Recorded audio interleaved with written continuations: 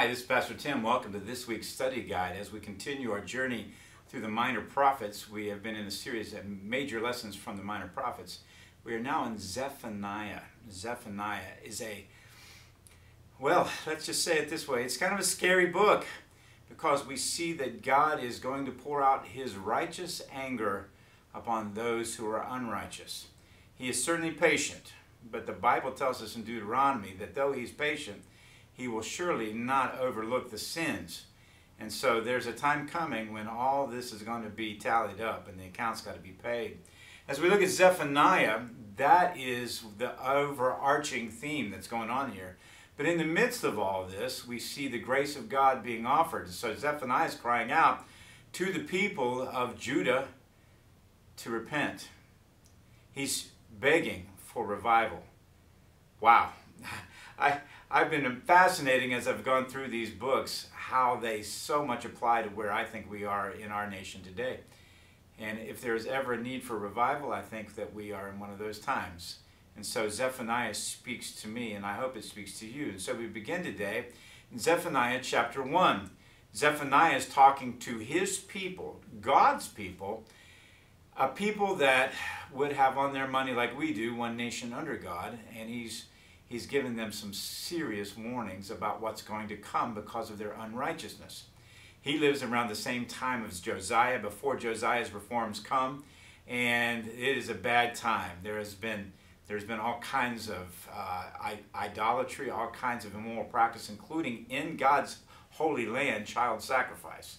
And so that brings me to the question as a nation under God, as a people who have called upon God, as a Christian nation, do you think it's possible that God would be warning us today of coming judgment?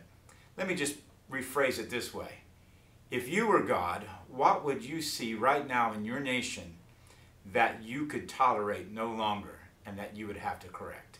Go ahead and spend some time on that question.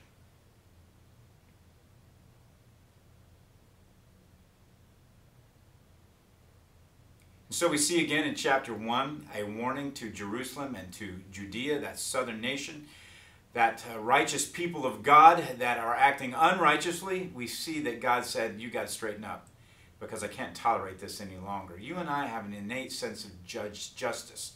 We want to see things set right. If somebody, if somebody, God forbid, raped your child, you would want to see justice done. You would insist on that, and you should. And God is a just God, and he will not let unrighteousness stand even amongst his people. And so today, as a Christian nation, we need to be crying out for revival. And revival always begins with us.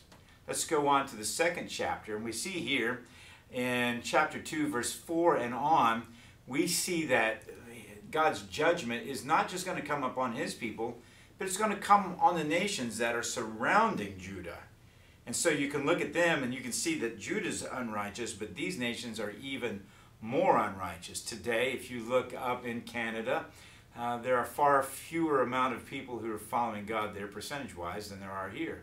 You could go down into South America or Mexico and you could see all kinds of unrighteousness that's, uh, that's manifesting itself in those nations. And you can look at a post-Christian Europe and you can look around the world and certainly see where they are not Christ-like at all. Don't miss this. God's going to judge them. Today, ask yourselves this question.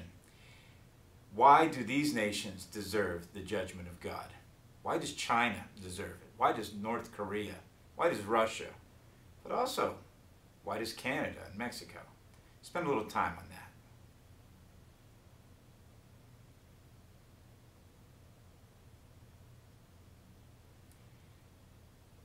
So we see then that God doesn't just correct his people, he corrects all those who make themselves enemies of his people. We saw that last week in Habakkuk. We see that God is going to use Babylon to bring judgment upon Judah, but then he's going to utterly destroy Babylon. And so God can use unrighteous people and nations to correct his people.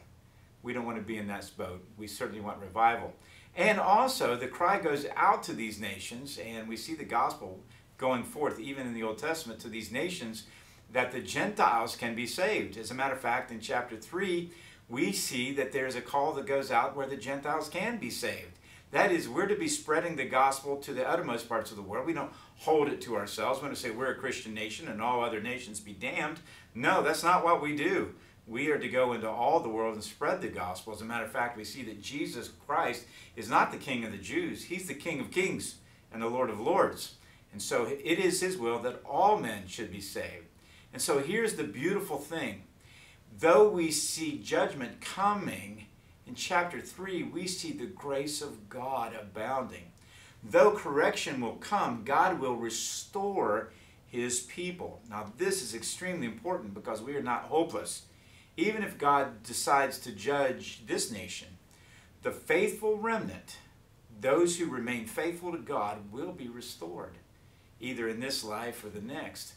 And so pause and ask yourself the following question How much comfort do you find knowing that God's going to make everything right? And if you're on His side, it's going to be okay.